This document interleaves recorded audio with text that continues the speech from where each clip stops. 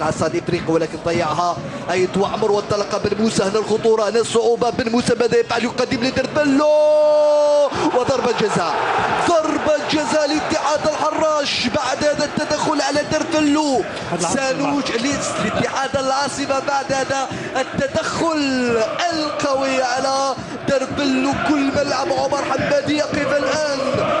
ليتفاعل مع هذه اللقطة ومع هذه الانطلاقة الثاني فرصة يا مازا للاتحاد العاصمة. هاي الإعادة من أوبامبو على دربلو لا فيها ضربة جزاء واضحة. لكن اللقطة اللي جات بها الهدف شوف اللاعب بن موسى يمشي يرفع الراس تاعو آه، يقدم كرة في عمق دفاع. زغبة وحكاية العارضة. هل يريد أن يفعل ما فعل صلحي صلحي مع طبعا درارجة تلقى الإنذار ونفس الملاحظة يقدمها له عبيد شارب. ممنوع عليك أنك تت... تتحرك. تتحرك وأنك تلمس العارضة. يلا دربلو وزغبة في بداية المباراة الدقيقة السابعة. أي سيناريو أي سيناريو. دربلو دربلو دربلو دربلو دربلو وأول أهداف المباراة لاتحاد العاصمة. القمة الكلاسيكية ببداية مجنونة وبهدف ممتاز من أسامة دربلو أقول ممتاز لأنه ليس من السهل أن تسجل على زغبة ضربة الجزاء. ذهب في اتجاه الكرة تابعها ولكن اختار الزاوية الصعبة والبعيدة. دربلو يتفاعل مع الجمهور. هاي الإعادة. راح مع زغبة شم الكرة مثل ما نقول بلغة كرة القدم ولكن منفذة كما ينبغي كما ينبغي بالرجل اليمنى بداخل القدم. كان فيها القوة. حتى الدقة يعني في شبكة صغيرة والصعب أن الحارس يلحق بشبكة صغيرة بعدما الكرة تكون قوية مثل ما نفذها أسامة درفلي تأكد يا مصطفى بأن الوفاق الصيفي لن يستسلم. حتى وإن تلقى الهدف في الدقيقة السابعة سيرد لأن الكبار هم هكذا. لديهم الكبرياء. مرة أخرى يبحث عن زاوية يقدم كرة. أي كرة؟ أي كرة؟ أي كرة؟ أي كرة؟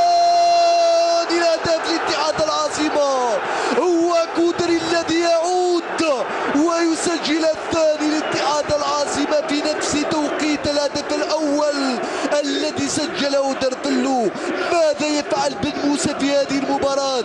كرتين حاسمتين الأولى جاءت بضربة جزاء والثانية يقدمها لكودري في عمق دفاع الوفاق الصيفي لم يترك أي فرصة لزغبة وجمهور اتحاد العاصمة يقف ليحيي اللاعبين ويحيي كودري على غير العادة. يوضع نفسه في موقع قلب هجوم شوف أنا راوغ الأول والثاني ومرة كرة على طبق. فعلا أي كرة أي كرة من لا أكيد آه، كنت قلت آه، كريم انه ضع نفسه في وضعية اللي تسمح له انه يكون قريب على المرمى. كانت لقطه قبل هذه والكودري تقريبا آه، وصل للكرة لولا آه، اللاعب بدران اللي قطع الكرة قبل الكرة هذه. لكن في اللقطة هذه اللاعب كودري آه، صعد وحاول أنه يقدم التفوق العددي والكرة كانت آه، في المستوى من من موسى كل شيء. وتسديده تعال كل شيء. نعم تسديدة يعني ولا أروع من اللاعب حمزة كودري مسجل الهدف الثاني. الهدف الثاني سيناريو ممتاز بالنسبة لفريق اتحاد العاصمة وصعب على على الوفاق الصيفي في الوقت اللي كان سيعود الوفاق جاء الاتحاد. يقول 2-0 أفضل من مغامرة التوزيع! ثالث الأهداف ثالث الأهداف من شافعي. شافعي يسجل الهدف الثالث لاتحاد العاصمة ولكن بغرابة صدقوني بغرابة. لا أدري ماذا كان يحدث لدفاع الوفاق الصيفي في هذه الكرة. أربع لاعبين فقط يا مصطفى يا مازا وخمسة صعدوا في هذه الكرة الثابتة. كنت أقول بأن اتحاد العاصمة لا يريد المغامرة ولا يريد المجازفة. هاي الإعادة تركوه وحيدا وحتى زغبة لم يكن على خط المرمى.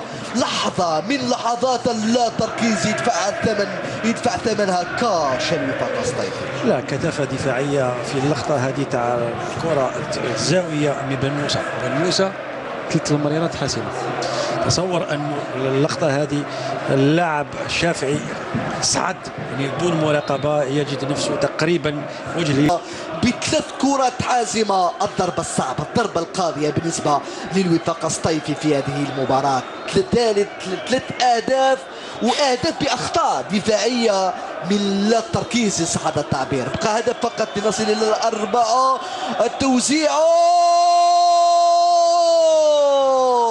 والهدف الأول للوفاق الصيفي الذي يرد بسرعة ويسجل. الهدف الأول في هذه المباراة. زيباموش لم يستطع أن يفعل أي شيء سنشاهد الإعادة. أعتقد بنوح هو الذي سجل هذا الهدف. دخول موفق من بنوح الذي يتمكن من إضافة من تسجيل الهدف الأول لوفاق الصيفي مصطفى. نعم تمريرة عرضية من بنوح. بن عياد موه تقريبا هو اللي غلط المدافعين واللاعب بنوح في القائم الثاني تمكن أنه يجد نفسه وجه لوجه مع المرمى. قدم له هدية. نعم. لكن كريم رانا في الهدف الرابع. خلاص ممكن الآن مصطفى. عرفت بدأنا بأربعة أهداف ما يأتي هو. عاصمة التوزيع والدفاع يتدخل اتحاد العاصمة إذا يتوجه نحو تحقيق انتصار ثاني على التوالي. يقلص الفارق إلى سبع نقاط فقط عن الرائد بعد هذه التوزيع. الصيفي يسجل الثاني عن طريق بنوح. ماذا يريد أن يفعل الوفاق الصيفي في هذه المباراة؟ يسكت كل أنصار اتحاد العاصمة. دقيقة أخيرة ستكون دقيقة الأعصاب. قلت آه على الوفاق. لو لعب بمهاجم صريح في الشوط الأول لتغيرت المعطيات. هو اللاعب الواعد بوسيفا الذي وزع وبنوح يرتقي فوق الجميع. بن يحيى لم يستطع أن يفعل أي شيء والوفاق يقول بأن المباراة لم تنتهي. لم يتركني حتى للحظة